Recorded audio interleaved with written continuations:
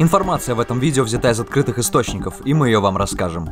Любая крупная компания пытается выстраивать вокруг себя имидж распространять свой продукт или услуги с помощью рекламы. Делают все это по-разному. Ikea, например, берет оригинальностью. Apple больше уходит в нативную рекламу. Burger King и Макдональдс, как и Pepsi с Coca-Cola, ведут агрессивные рекламные кампании против друг друга уже долгие годы. Но есть определенная сфера, реклама которой преследует две вещи. Первая – разойтись как можно шире, то есть охватить огромное количество людей. Вторая – въесться в мозг настолько, чтобы название их компании тебе снилось. Их слоганы должны звучать и повторяться из всех утюгов, чтобы ты точно обратил обратил на них свое внимание и запомнил их. Да, такие рекламы используют казино и букмекерские конторы. Даже если ты никогда не пользовался их услугами, то пару-тройку названий точно вспомнишь. Одной из наиболее известных БК, если не самый известный, у нас является 1xbet. Недавно мир увидел всплывшую информацию об этой компании, и поверьте, о такой истории запросто можно снимать кино. Смотрите до конца, и вы убедитесь, что это никакая не реклама, а рассказ настоящего голливудского фильма. 1xbet, что это за компания, как она появилась и что и кто за ней стоит. Самые богатые клубы мира рекламируют контору, основатели из Брянска находятся в международном розыске. Это Битл, поставь лайк и будем начинать. Друзья, а как вы относитесь к интервью? Я обожал до недавнего. Проще их вообще не смотреть. Это уже действительно выглядит чуть ли не позорно. Такие интервью должны быть пособиями по тому, как их делать не нужно. Трахни меня прямо сейчас. У меня на канале Битл а, вышло видео о том, почему интервью сегодня умерли. И конкретно мы разобрали это на канале, например, «А поговорить». Супер популярный канал с парочкой таких интервью, что хочется плакать. Приезжай в Самару, все унылые журналисты ходят поникшие головой.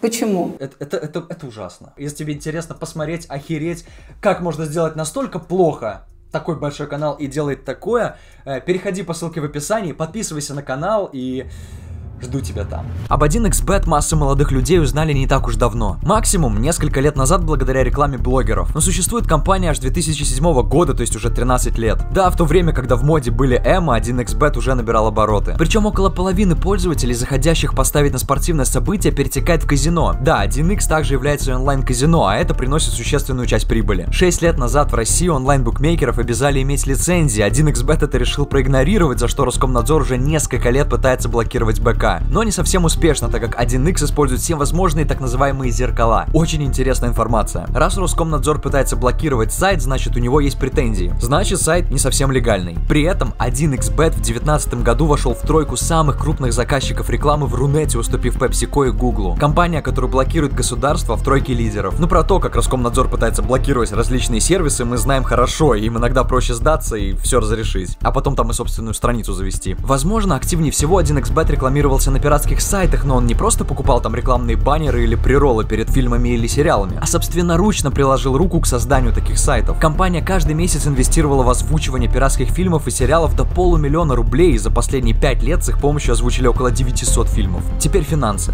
Денежный оборот компании очень внушительный. Я бы даже сказал огромный. У компании 1xbet есть компания-клон 1x Ставка, и только она в прошлом году получила прибыль в 5,5 миллиардов рублей. Миллиардов. Дальше будет еще интереснее интересней. В 2018 году выручка 1xbet, то есть основной компании, достигла 2 миллиардов долларов. Бюджет страны Андора в том году составил 3 миллиарда долларов. При этом российский оборот был меньше зарубежного. В том числе и потому, что компания решила продвигать себя на более высоком уровне, например, заключив соглашение с футбольными клубами Тоттенхэм, Ливерпуль, Челси и, главное, Барселона. Во время матчей Барса зритель наблюдал и, главное, наблюдает баннеры 1xbet, мимо которых пробегал и Месси. Забавно, что многим нашим блогерам досталась от рекламы 1xbet, при этом Месси как как-то это сошло с рук. Хотя, может, Директ с претензиями ему и завалили, кто знает. Но по правде говоря, сотрудничество с некоторыми клубами у 1xbet быстро закончилось из-за скандальной статьи The Sunday Times, которую выпустили в прошлом году. В ней говорилось о рекламе 1x с участием полуголых девушек, о рекламах на запрещенных ресурсах, я уже об этом сказал, о ставках на детские соревнования и, внимание, о трансляциях петушиных боев. Как же это по-русски? Оборот в миллиарды, сотрудничество с Барселоной и петушиные бои. Но я бы уже не удивился, если бы оказалось, что эти бои приносили 95% выручки. По этим причинам в Великобритании было проведено расследование, после которого клубы отказались от сотрудничества, а английский сайт был заблокирован. Правда, Барселона до сих пор сотрудничает с 1xbet. Футболисты снимались в отдельной рекламе, а на сайте в партнерах среди Nike и Rakuten числится и БК. Только попытался зайти, после чего меня перенаправило на 1x-bet-bk.com, но вылезла и сопутствующая надпись, что этот веб-сайт в моей стране недоступен. Но кто же стоит за всем этим, вполне можно сказать мировым проектом. Это даже звучит киношно. Три жителя Брянска. И всех их Следственный комитет объявил в международный розыск. Если вам интересно, их полные имена вы можете найти в интернете, сейчас это не главное, сейчас я просто о них расскажу. Забавно, что у всех них есть гражданство Кипра. Это известная офшорная территория, где очень выгодные условия для ведения бизнеса. И возможно, они находятся именно на этом острове. Предполагаемых основателей 1xbet назвали в августе, их обвиняют в незаконной организации проведения азартных игр в составе преступной группы. Худший для них исход это заключение под стражу на срок до 6 лет и штраф до миллиона рублей. Миллион рублей, скорее всего, основатели 1x бы потянули. Недаром проводили все-таки трансляции петушиных боев.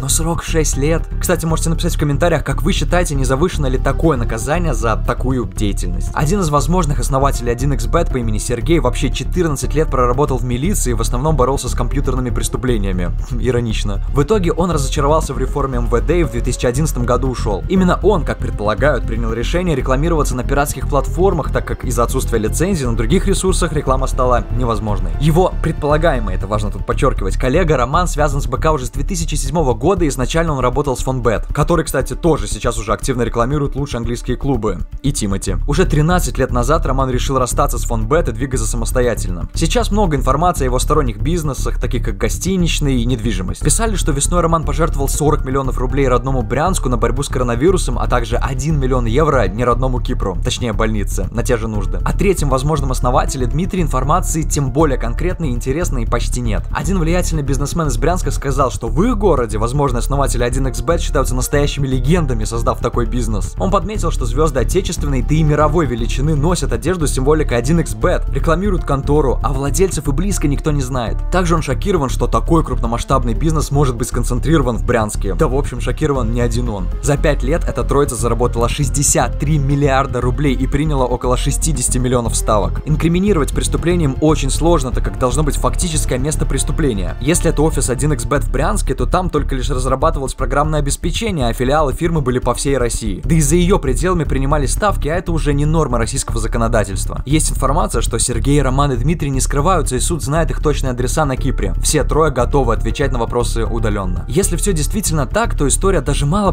похожа на настоящую. Трое простых ребят сделали полулегальную контору и вышли на весь мир с миллиардными оборотами. Кто-то называет их красавчиками, а кто-то осуждает за такую деятельность. Как думаете вы? Они красавчики, что в суровых реалиях смогли создать то, что рекламируется мировыми брендами до сих пор, а также принесло миллиарды, плюс трансляция петушиных боев. Либо они преступники, которые занимаются отрицательной деятельностью. Напишите в комментариях, действительно интересно. А я лишний раз просто хочу напомнить, что все финансовые действия осуществляйте ответственно. Только вы за это отвечаете, и перекладывание ответственности, к сожалению, скорее всего не поможет. Это же еще не все. Напоминаю, что у меня на канале по ссылке в описании ты можешь посмотреть видео про провально ужасные интервью и о том вообще, куда катится весь жанр интервью сейчас на ютубе. Получилось интересно, там действительно есть что посмотреть. Жду у себя, подписывайся на канал и обязательно пиши комментарий, как ты думаешь, вот эти мужики из Брянска, кто они? Красавчики или преступники?